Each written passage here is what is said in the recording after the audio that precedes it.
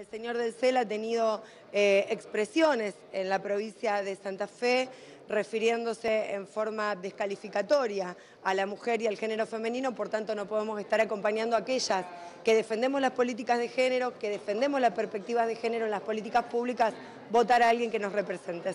Creo que mm, el propuesto señor eh, Miguel del CEL, cuando vino a la comisión, demostró que no había tomado verdadera conciencia de la implicancia de estos hechos. Esta persona eh, no está capacitada para llevar eh, nuestra voz y nuestra bandera a Panamá. Los candidatos del presidente Macri, la verdad que han sido importantes en, destinos muy relevantes para Argentina. Eh, se vio en la Comisión de Acuerdos ¿no? una, actuación muy destacada de muchos de esos eh, propuestos embajadores en relación con cómo van a ser nuestras relaciones con esos países.